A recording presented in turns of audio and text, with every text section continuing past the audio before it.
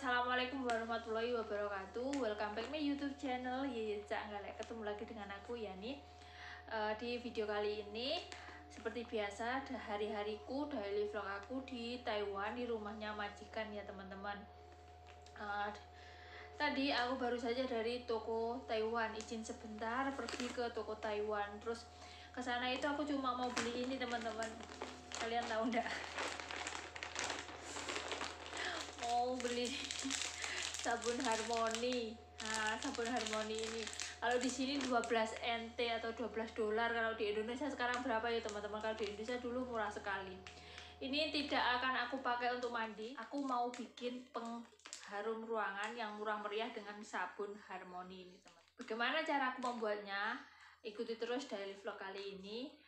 Uh, langsung saja aku mulai aktivitas